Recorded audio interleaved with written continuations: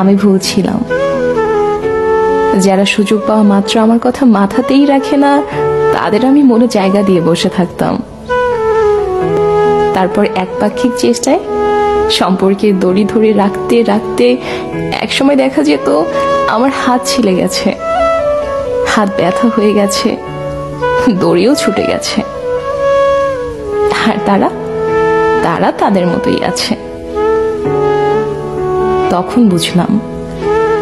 মাঝে সাঝে কয়েকটা ভালো কথা আদান প্রদান করার মানি আমি কারও কাছের মানুষ না। যদি হতাম, তাহলে আমার হাতটায় তারা এত ক্ষত হতে দিত না। পুরনো এমন অনেক ক্ষত দিয়ে আর ক্ষতর দাগ দিয়ে আমি শিখলাম। সবকিছু ধরে রাখার চেষ্টা করতে নেই।